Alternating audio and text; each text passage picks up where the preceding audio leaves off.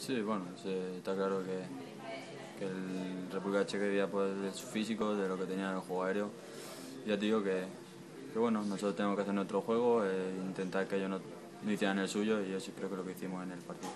Encuentro fenomenal. Ya, ya, dije en su momento que prefería ganar el partido a, a, ganar, a no ganarlo y ganar el, el mejor jugador, así que sí, estoy más feliz por este partido que por el de antes. Bueno.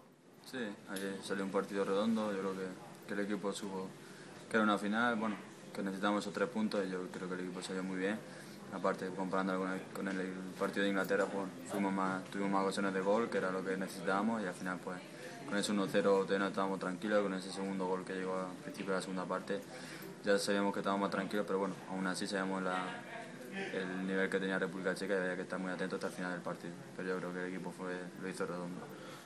Sí, era, era digamos que el, el, rival con más puntos del grupo y hemos, hemos conseguido arrebatar ese primer puesto y, y cada punto que logremos en, de aquí en adelante van a servir y son esenciales para, para poder clasificarnos.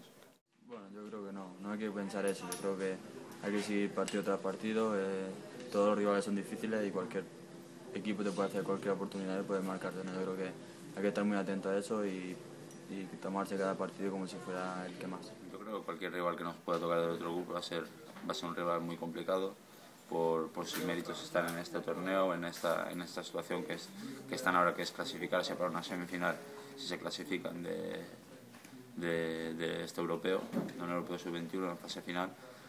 Así que va a ser un rival complicado, o sea, el toque el que nos toque.